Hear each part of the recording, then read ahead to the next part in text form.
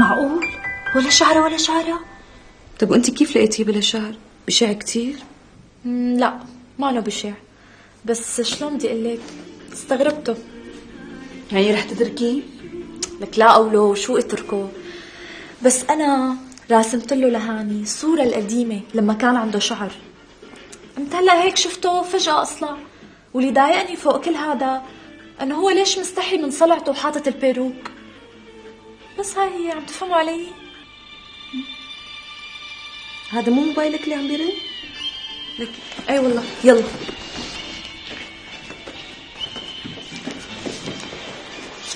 أنا قررت أعمل عملية تجميل لأنفي بتعرفوا شي دكتور شاطر؟ عن جد؟ ميديا شبك أنت؟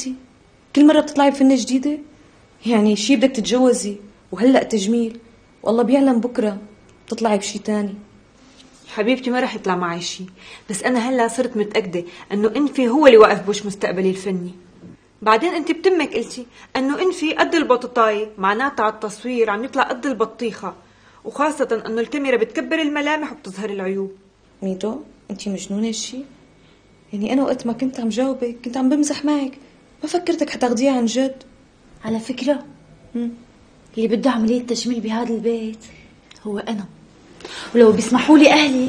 كنت فورا قصيت شعراتي وجبت بوستيجات أو استعرت من عند ميديا. وكل يوم طلعت بموديل. وكنت شقلت عيوني و... ونفخت شفايفي وعملت حواجبي تاتو. وشو قصة؟ إيه ورفعت كراسي خدودي لأنهم سالتين. والله شو؟ شوفوا المجنونة الثانية. الدنيا غنوة نغمتها حلوة. الدنيا غنوة نغمتها حلوة. وأنا للوشة بحليها آه بحليها. آه شو؟ هاني طلع له شعر. إيه لا. قرر يعمل زرع شعر كرمالك ولا وحدة من بيناتكم حزرت. لكن شو؟ طلبوا مني أعمل لقاء بالتلفزيون و live. أوف! لقاء على الهواء مرة واحدة خير شو المناسبة؟ المناسبة إنه بدهم يعملوا معي لقاء البرنامج هذا أحلى ستايل ما غيره يلي مذيعته بتفلج قال بدهم يعملوا معي لقاء. منشان شو؟ قالت لي إيه مشان موضة الربيع. كوني أنا عارضة أزياء معروفة. حلو كتير. يعني رح نشوفك على التلفزيون إيه معلوم طبعا. بس أهم شيء اليوم إنه نام بكير. لحتى هيك حس وشي كتير فريش ومنعنش ومفرفش بكرة. مين عم يدق لك؟ هاني. بس هلأ ما رح رد عليه. ليش قررت تتركيه؟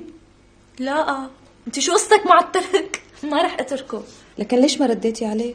ما رديت عليه لأنه بكرة أنا حابة أعمل له إياها سربرايز يعني قبل اللقاء بشوي بدق له تليفون وبقول له يفتح على التلفزيون ويشوفني بعدين من كل عقلكم مفكريني لهالدرجة يعني سطحية وتافهة.